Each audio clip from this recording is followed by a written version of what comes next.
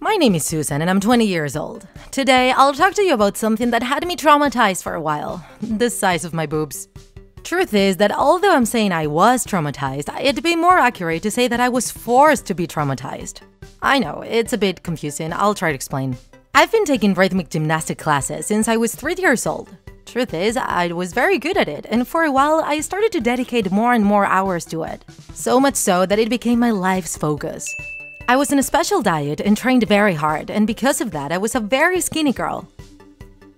I started to grow up, and I noticed that my body looked different to the bodies of the other girls my age. At first, I didn't care about that. I was happy dancing and competing, and to me, it was never an issue that my body was growing up at a different pace.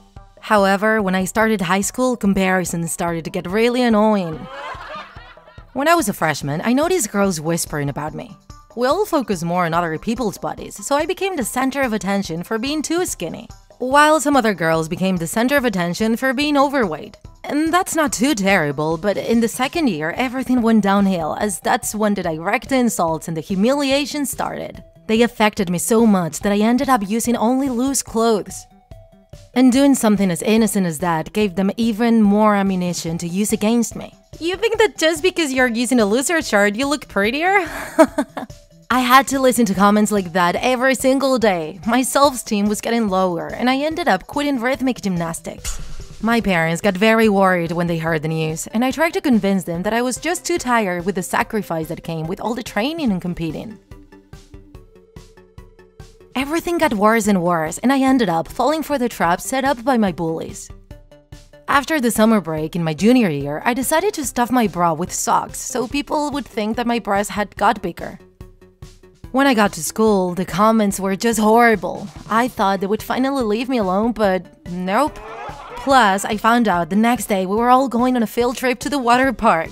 Everybody would find out I was lying, and it was gonna be a lot worse. I couldn't take it anymore.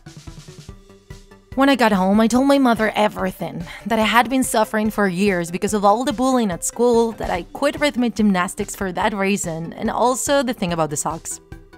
She started crying for not having realized what was going on with me. I felt terrible seeing her like that. She was suffering as much as me.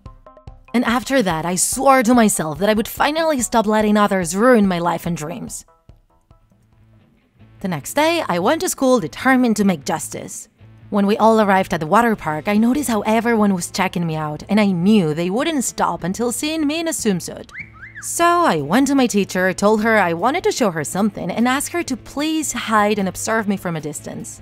She followed along, and then I carried out the rest of my plan. I started to take off my clothes. I had my socks very well placed in my bra, so if you were to look at me from a distance, they could pass for real ones.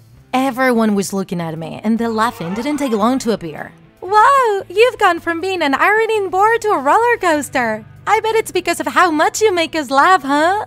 There, I had had it. I took the socks out of my bra and threw them at her. They were laughing at me, but I was happy. I finally felt free to express all the damage and suffering they had caused me. Words were coming out of my mouth non-stop, and their laughter slowly turned into open mouths. And those mouths were even more open when the teacher came out of her hiding spot. She heard all of the insult and my entire story. She gave them all a great lecture and she was going to inform their parents plus expel them. Bullying sucks. Does your life suck as well and you want to share it with us? Send us your story to storiesmylifesucks at gmail.com and don't forget to follow us on social media to find out if you are the protagonist of our next video.